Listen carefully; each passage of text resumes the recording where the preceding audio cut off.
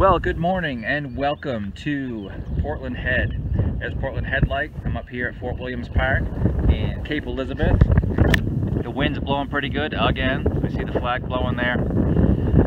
And the reason I'm here today is to address a very strange question that I've gotten from some of the flats. And it deals with optical surveying instruments. And there are some folks that believe that optical surveying instruments have barrel distortion that looks like the earth is curving away at 8 inches times the mile squared. Well, that's bunk. So we're going to look at that today. A total station, what I have set up here, has two faces. Yeah, I know, there's a two-faced joke there. I'm just going to leave it alone. Anyway, so right now, this is the scope pointing towards me, and the eyepiece is back here. Right now, we are in face one, and we can see that because it has a symbol of the instrument and one there. And that says that we're in face one right now. So if I look through the eyepiece, we're in face one. That's the forward direction. And my vertical is nearly at 90 degrees, which means horizontal. So 90 degrees horizontal is going to mean that the horizontal crosshairs in the eyepiece are going to represent eye level at this position. Now it's a bit windy, so it's a little hard to get it right exactly at 90. You'll forgive me for one second, one way or the other. And let's look through the crosshairs. Okay. So we're looking through the crosshairs. I look at the eyepiece at the crosshairs and we see that the horizon does not rise to eye level, not even remotely. See that? So the horizon is well below eye level there. And so with a zenith angle, that's the V there, uh, it means that if anything, anything that's less than 90 degrees means we're looking down, I'm sorry, looking up, and anything greater than 90 degrees means we're looking down. And that's why we were just looking through there now. So we're even looking down by three seconds, and we just saw that the horizon does not rise to meet eye level. Try to get it back towards 90. It's very windy.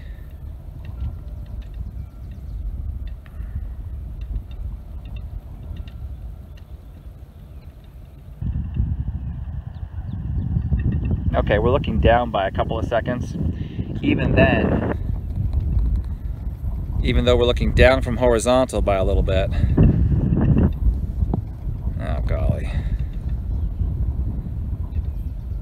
even though we're looking down from horizontal, we see that the horizon does not rise to meet eye level.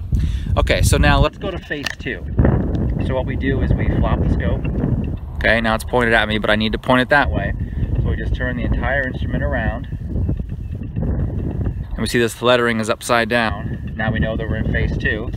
And we look on the screen, and it has the total station symbol with the number two next to it. it means we're in face two. And we made our we need to make our zenith angle 270 degrees exactly. So 90 degrees plus 180 degrees equals 270 degrees. So 270 at this position is going to be horizontal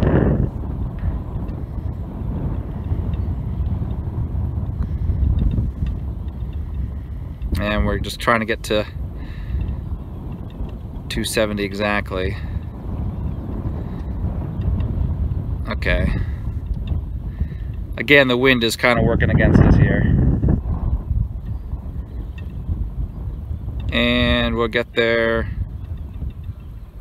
All right, so now, now that we're in face two, the flat claim is that barrel distortion makes the earth curve downwards and away at 8 inches times the mile squared. Now we flop the scope 180 degrees. That means that the earth should be curving up and the Earth should look concave now, if the flat claim is correct. So we're at 270 degrees. I don't really care, plus or minus a couple seconds. The wind is working against us, like I said. We'll try to get it close. We're hovering right around there.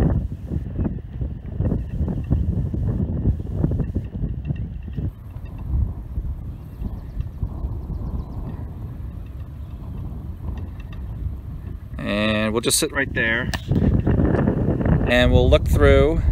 Hey, look at that. The horizon is not rising to meet eye level. Here's a lobster boat.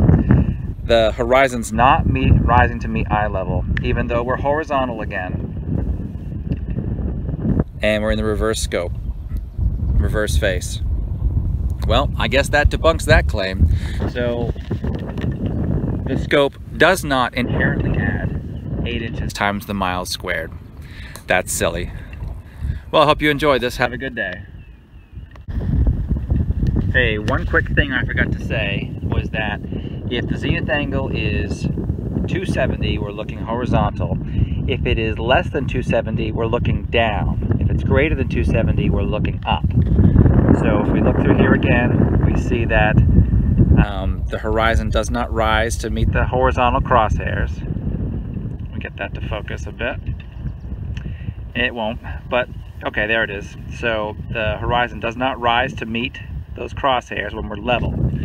So let's look down to the horizon there. And this is how you get the Al-Biruni method of measuring Earth's radius by measuring zenith angles to the horizon. Okay, so now we're less than 270, which means we're looking down, 269, 52, 10. And we look through there,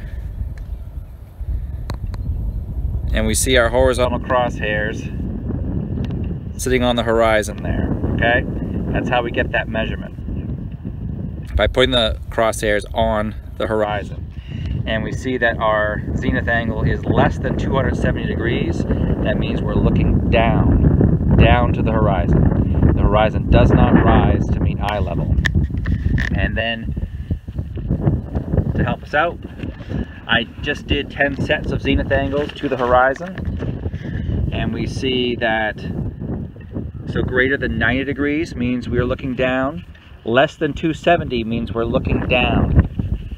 So we have uh, set one there, forward, 90, 07, 25, reverse, 269, 5209. Those are zenith angles to the horizon. And I did 10 sets just now, as I have done several times before. So that's how that all works out. So remember, less than 270 means we're looking down. So we just looked down to the horizon. The horizon does not rise to meet eye level and there is no barrel distortion causing curvature or the, even the appearance of curvature. The curvature is actually there. Adios.